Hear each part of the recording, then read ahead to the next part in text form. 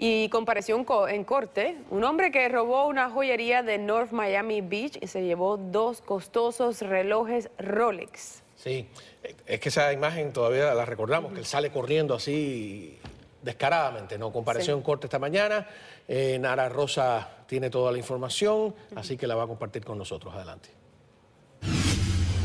¿Qué tal? Buenas tardes. Dice el viejo y conocido refrán que el que la hace, la paga. Y la policía asegura que el hombre que robó esta joyería el pasado miércoles la hizo en grande. Por eso esta tarde permanecerá en la cárcel sin derecho a fianza.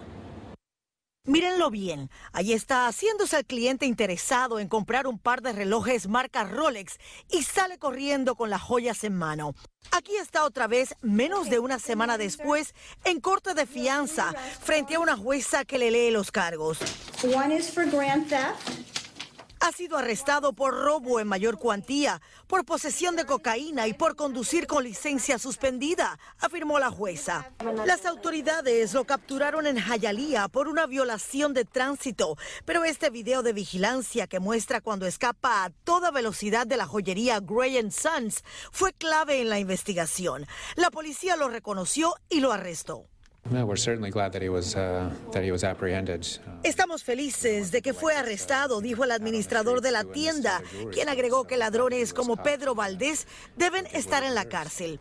Los relojes que robó por un valor de 55 mil dólares eran muy similares a estos y los dueños de la joyería no los han recuperado aún. Tras ser arrestado, a Valdés se le encontró una bolsa con cocaína en su automóvil que luego admitió era para su uso personal. Valdés vive en la 14 calle del Southwest y la 22 avenida. Empecemos nosotros estamos ahora adentro, cerradito y sin saber de nadie, mejor, tranquilo.